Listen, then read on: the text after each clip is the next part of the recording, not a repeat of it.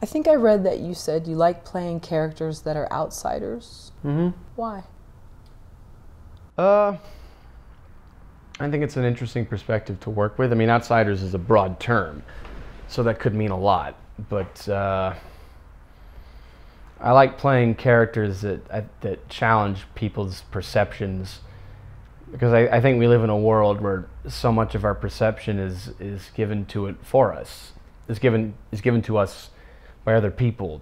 You know, it's such a cliche hipster thing to say, but it's true that uh, you know we're, exposed to commercials all the time and and uh, social media posts, and we tend to surround our our friend list on social media with people who agree with us and and you know uh, all the, a lot of the movies we watch are made by the same people and controlled by the same companies and uh, they follow trends and we're just we're just exposed to so much media portraying a certain lifestyle and you can and in today's age you can choose to surround yourself with media that that reflects what you find comfortable.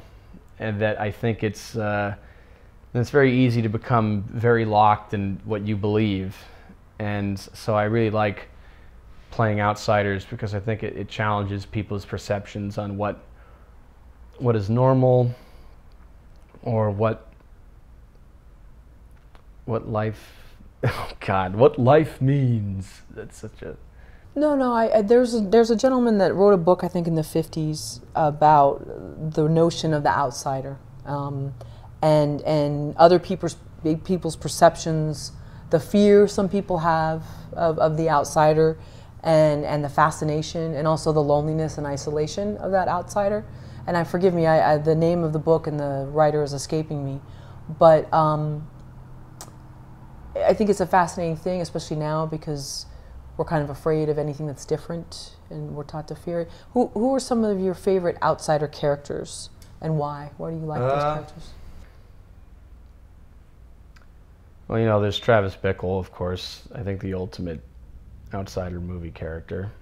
Uh, like, not a good man by most definitions, but I find him interesting because it's easy to just say, oh, he's just a crazy guy but you know, it's like he. I think that that character is a reflection of a society that produced him. You know, it's like imagine that you live in that city at that time, and you're in this car, and you're just separated from the city by glass and metal, and you're driving past it. And we talked about you know the pimps and the hustlers and all these different people, and uh, you know I think about the people getting into his cab late at night. You know, like like businessmen cheating on their wives with with different girls or like you know there's that one character who's the opposite as the husband trying to find his wife and he says i'm going to shoot her in the face in the well, he says pussy i'm going to shoot her in the pussy with a 44 magnum pistol and uh, you know he lives in this regular little apartment by himself in this swarming hive of people and uh, and uh, you know he doesn't have a lot of money so he he uh, you know he goes to like those pornographic movie houses and uh,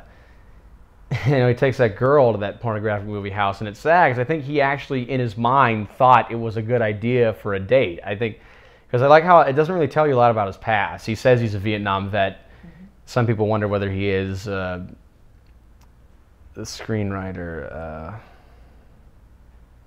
says that he is. Yeah, I, and I think it's easy to just uh, look at him as this crazy person, but you got to ask, like, am, am, I just a few steps away from being Travis Bickle? Like, what if I was put alone in an apartment in a ratty part of town for that amount of time, and right.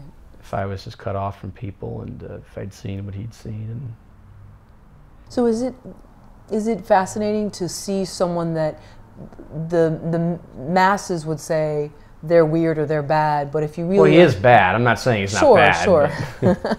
but but maybe there's others in varying degrees where if you sort of looked at the timeline of their life, you could see why they got to that point and maybe have more empathy. But instead, most people put up the shield of fear, and, and you're more fascinated by peeling back those layers? Yeah, yeah. You know, it's like uh, I am, and not just that type of outsider, different outsiders too, but. I guess I'm the type of guy who, let's say, if someone gets bitten by a rabid dog, most people tend to feel bad for the guy. And I, I feel bad for the guy too, don't get me wrong, but I also tend to feel bad for the rabid dog. Because there are very, there are very, there are very few genuine sociopaths in the world, like people who are just born with no, morality whatsoever. You know, and I, I think it's it's hard to uh, because I, I think you know I'm not I wouldn't go as far as to say that I'm a biological determinist. I wouldn't go that far, but I think at the end of the day we are physical systems. We're we're a collection of cells, and like if I if I touch like a hot poker, that is a bunch of molecules and energies that sends a reaction to these physical cells. You know, this whole universe we live in is a physical universe that's full of actions and reactions and you know we are animals and i think people don't like being told that they're animals because it ruins their kind of illusions of being this effervescent spirit that's in complete control of their life you know like uh, i am a individual and i control my destiny and like you do i don't think you can control your destiny nearly as, as well unless you're very aware of your base kind of cognitive biases and your base instincts you know like uh, and i think depending on the physical environment that you're in, you know, people react to that. So I think it, it, we got to be aware of this and, and really be aware of like the, the type of media we consume or the type of message that we're sending. And, uh, and I just think that's the only way that we can really make people change or is if we're aware of what created them, you know, because I think people like to treat these people like bogeymen. Like it's easy to treat a, a suicide bomber like just some crazy person who hates people and yeah maybe he hates people and he's a bad guy he's a bad guy but a lot but but you know you got to look back and if this many people are uh, are creating these actions and doing what they do that, that are willing to give up their lives what they believe is a cause obviously something has put them into a rather desperate position so we got to examine what caused that situation in the first place, rather than just treating it like a like a thing, like something that can be like we treat evil like it's just this thing that can be killed. We can just make it go away by killing it. Sure. Rather than changing the circumstances that bring it about. Do you think people can write a script for their own life and and become and this is such like a cliche, but do we determine our own fate? And, and in doing that, can you somehow relate it to acting? I think we can if, if you try to make yourself aware. Like, really study, you know, study all sorts of different areas. Uh,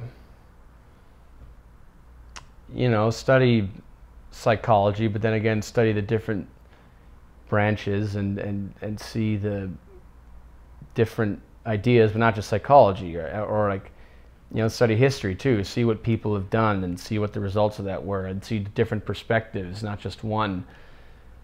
Uh, and again, I think just be aware of the fact that you are a, a, a creature, you know, that uh,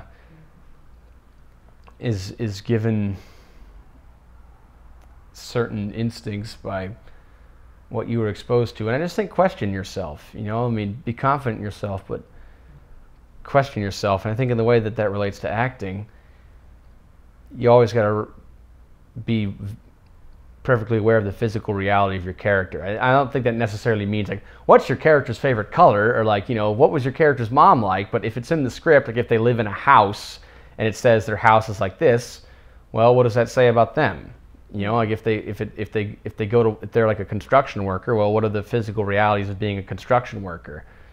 you know, and how does that relate to what the point of the story is? You know, like because the writer chose that for a reason to make them a construction worker. So how does that relate to the point that they're trying to make?